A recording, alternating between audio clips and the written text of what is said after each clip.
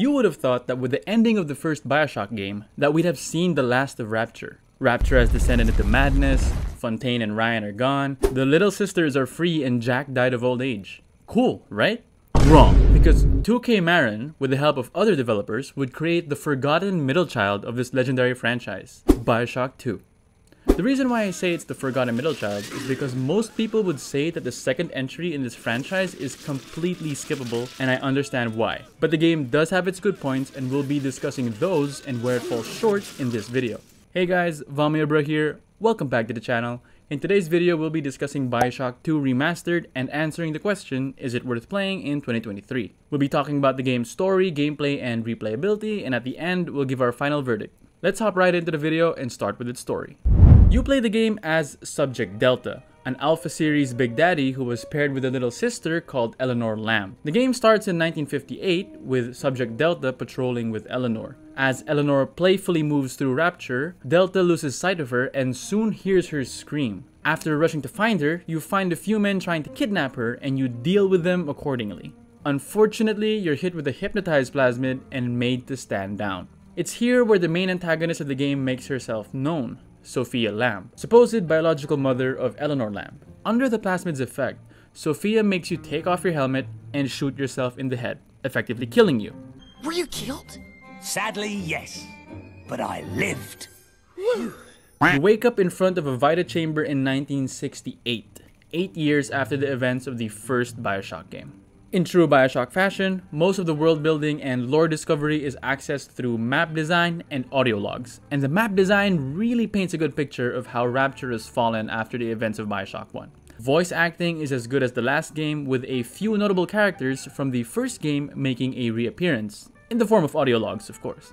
Soon after waking up, you're contacted by Dr. Tenenbaum, who has returned to Rapture after the frequent disappearances of little girls from the surface. In the first game, it's known that you either rescue or harvest most of the little sisters, and Tenenbaum also brings them with her as she moves to the surface. This means that Lamb has restarted the Little Sister program, and Tenenbaum came back to stop her. Now, one of the things that bothered me was that I never remembered Sophia Lamb from the first Bioshock game. Through audio logs in Bioshock 2, we know that Ryan, Fontaine, and Lamb were alive before the events of Bioshock 1 and were fighting for political power over Rapture and its people. If she was such a key character, why did she only come to light now, 8 years after Bioshock 1? I know Ryan had her locked up, but shouldn't we have seen her in the first game as we were trying to kill Ryan and Fontaine? This is all just personal preference, of course, but the timing of her rise to power seemed a bit off to me. If you can answer this though, please do put it in the comment sections below.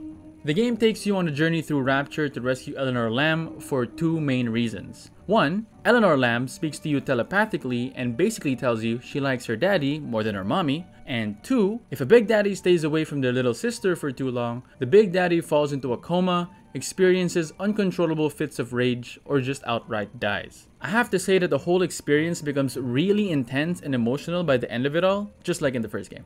You meet several key characters who are allies of Sophia Lamb who try to stop you, but once you confront them, you are given a choice to kill them or let them live. You're given context throughout your encounters with them to help you decide whether they deserve to live or not, but do note that these choices will affect the outcome of the story later in the game, in addition to rescuing or harvesting little sisters. More on that in the gameplay section. As the last bit for the story section, this game apparently has 6 endings. There are good, neutral, and bad types of endings, and each type has 2 varieties. I got what I think was one of the good endings, and comparing the good ending I got here with the one I got from the first game, they're a little too similar for my taste, which leads us to one of its major flaws it doesn't really deviate from Bioshock 1's formula story-wise. As I played through Bioshock 2's story, I felt like I was playing an expansion of the first game rather than a sequel. Everything felt too familiar. Sophia Lamb's dialogue and the way she presented herself as a threat in each level of the game were the same as how Andrew Ryan did. Of course, there was no big twist when we finally meet her with another character taking the role of the antagonist,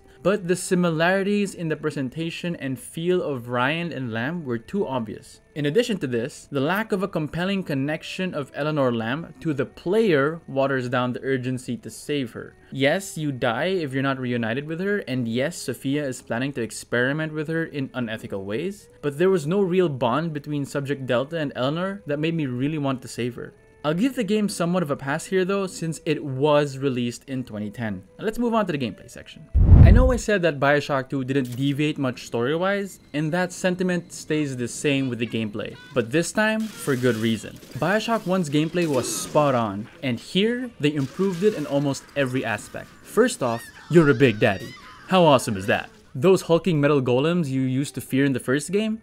Yeah, you're one of them now. That's awesome from a gameplay perspective, but in the immersion and fear side, it falls short. You're a big daddy.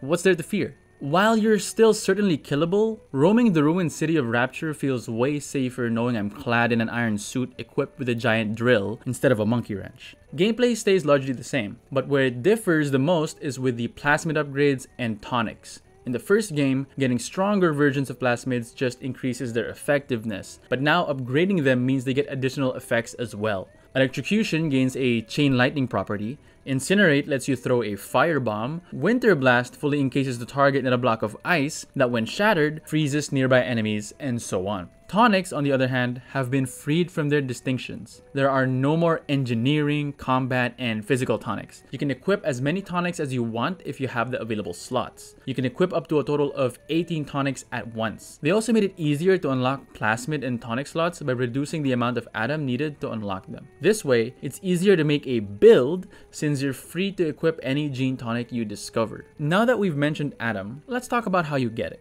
Instead of just taking the little sisters from Big Daddies after killing them in the first game, you now have the option to adopt them, which you'll want to do if you want the good ending, after killing their guardians. When you adopt a little sister, you have them ride on your back while you find corpses which they can extract Adam from.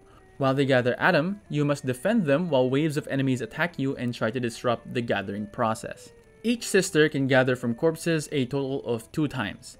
After that, you'll have to find a vent where you'll be given the option to rescue or harvest them like in the first game. And just like the first game, rescuing grants smaller amounts of Adam but with big rewards every now and then, while harvesting grants max Adam in addition to what you've gathered but kills the little sister in the process. Now here's where things get interesting. Early in the game, you're introduced to a new enemy type, the Big Sister. These are basically grown-up little sisters that were suited up for the purpose of rescuing little sisters whose big daddy has been killed by splicers. After rescuing, or harvesting, you freaking monster, a certain number of little sisters, a big sister will hunt you down. These fights are the hardest in the game as they combine the durability of a big daddy with the abilities of a Houdini and Spider Splicer. Beating a big sister will grant you even more Adam and valuable resources. What's interesting about the AI of the big sister is that they seem to hate big daddies a lot. If you find a random big daddy wandering around while the big sister is on the hunt, stay near it and the big sister will actually attack it, making it an easy 2v1 as long as you don't chip the health of the big daddy as well.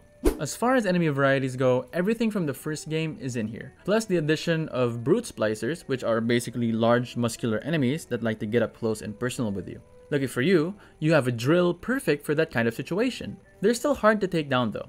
Another added enemy is the Rumbler, which is another variant of the Big Daddy. This one is equipped with a grenade launcher and throws automatic turrets to shoot you. And lastly, later in the game, you start fighting other Alpha Series Big Daddies, but a few magazines of armor-piercing rounds should be enough to take these big boys down. Bosses share the same design as the first game, which are key people in the world of Rapture that look exactly like Splicers, but are just beefed up. The franchise yet again falls short in this aspect of the gameplay but I think the game's focus was more with the immersion rather than having compelling boss fights.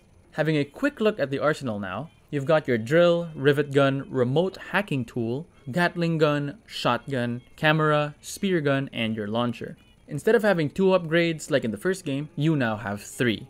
To get the third, you must get the first two. The third upgrade always adds a significant effect to the weapon. Shotgun shells get an added electrocute effect, rivet gun consecutive shots burn enemies, Machine gun bullets ricochet and your drill can even reflect projectiles while spinning. I couldn't unlock all the third upgrades of all the weapons since the amount of weapon upgrade stations are limited, but I think the game was designed for you to not unlock everything in a single playthrough. This makes you think about spending Adam and which weapons to upgrade as these will be the ones to carry you in the late game. The first game also shared this design, but it felt much more obvious here compared to Bioshock 1. That being said, the game suffers significantly in the late game when you've upgraded your weapons and plasmids. You become too overpowered in my opinion, since even the big daddies melt like butter against a fully upgraded machine gun with anti-armor rounds. Lastly, for the gameplay section, I want to mention a few things I noticed in the game that weren't major but noticeable. There are underwater sections in the game, which were cool. Navigating the map was a little clunkier compared to Bioshock 1. I think the way they changed how the camera worked was a hassle, but the rewards for completing research milestones were way better. Hacking was also done better in this game, and lastly, you can no longer backtrack levels, making for a more linear experience. Now let's move on to the last section, replayability. Here is probably where Bioshock 2 falls tremendously short. I finished the game in a little over 16 hours, but I was AFK for probably an hour since I had to pause the game a lot due to life happening in the background. This game does have DLC, but most of them are more of cosmetic packs and changes to the multiplayer. Yes, this game does have a multiplayer mode, but I never tried it since I have no friends. One DLC does stand out that adds to the single player experience and it's called Minerva's Den. Again, I never got to try this, but what I do know is that it has its own story and doesn't add to the original storyline. Bioshock 2 falls very short in this aspect due to the absence of an NG Plus playthrough. If you wanted to play through the game with all the plasmids and weapon upgrades, you can't. I get that the game wasn't originally designed to have this built in, but I think the remastered version should have had it. I would have gone for another run just to get all the things I never got in my first run. To me, the only reason to go for another playthrough is for the other endings or if you want to test out the other weapon upgrades or other plasmids, which doesn't sound appealing at all. Now it's time for us to answer the question, is Bioshock 2 Remastered worth playing in 2023? For me, it's not a good enough change from Bioshock 1 story-wise to really merit a playthrough. Is it a good game gameplay-wise? Yes, but the story, which is the franchise's bread and butter, feels reused here and too similar. It's a sequel, but it didn't add a lot to the story of Rapture and its characters, ultimately ending too similarly to the first game. Unfortunately, this game is indeed skippable. Thanks so much for watching up to this point. If you liked the video, leave a like and consider subscribing. I've got a long list of games to review so you wouldn't want to miss out on those. Let me know in the comment section below what you thought of the video. I'll be happy to have a discussion with you. If you also have a suggestion of what game I should review next, do mention it in the comment sections below too. Have a nice day and see you in the next video.